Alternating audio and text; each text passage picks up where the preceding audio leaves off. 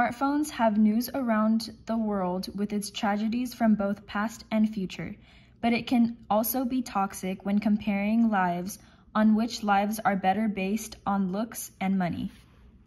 It's kind of a half and half, really. It's a it's a knife to a knife, because on one hand, phones are very helpful. They can tell us what we need to know. We can learn more about, well, what we know even from back then. But they're also a downside because people can pull them out during class and all that, and pretty much just stare at them the entire time.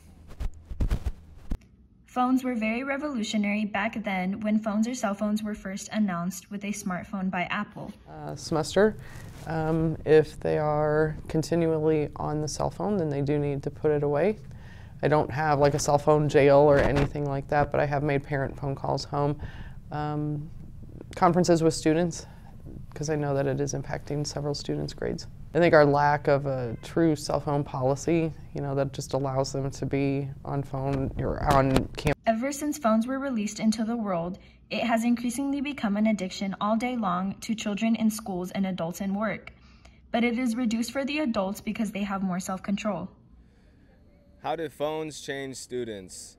I feel like phones in general changed I think everybody in a way. But but but speaking more to students right now, students are at a young age, so I feel like they care about obviously social or social media a lot. Just a lot of comparisons, you know, even speaking for myself, you know, there's times I'm on my phone too much and I have to kind of just put it away like, man, let me go out and take a walk and get some fresh air kind of thing, you know.